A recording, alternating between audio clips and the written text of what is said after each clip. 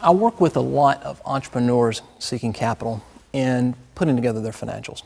And the question that always comes up is what do financials really need to contain to stand up to the scrutiny of sophisticated investors?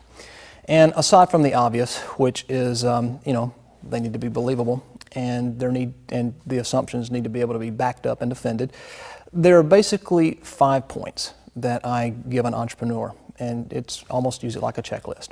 Number one is have a complete set of financials. This includes historical and pro forma, balance sheet, income statement, and statement of cash flows.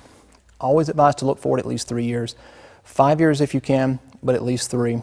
And for the first year, summarize your information on a monthly basis. And for years following that, do it on a quarterly basis, just simply because your information is looking that far out is just really not that good.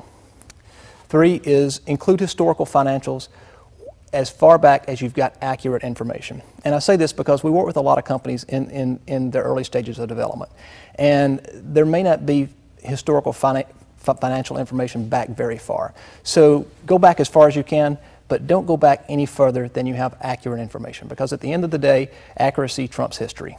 Four, make sure that your business plan and what you state in your business plan, in, in, in your market analysis, and your, uh, your market analysis and your competitive analysis, make sure those hang together. Because if an investor picks up a business plan that says one thing and looks and then looks at a set of financials that says something else, you know, it's it's just not going to make sense to them. And they're going to start to ask a lot of questions, and really and truly, the credibility of the whole plan in general is going to be called into question. The fifth one, and it's important dot your I's and cross your T's. Make sure your balance sheet balances. Make sure your costs are properly, pro properly categorized. Make sure that the investor can take your three financial statements and do a flow through analysis and it makes sense to them. Because at the end of the day, our investors see a lot of business plans. And what you don't want to do is give them, is give them an excuse to pass on yours. When putting together financial statements, I always recommend that if an entrepreneur has questions, to give us a call.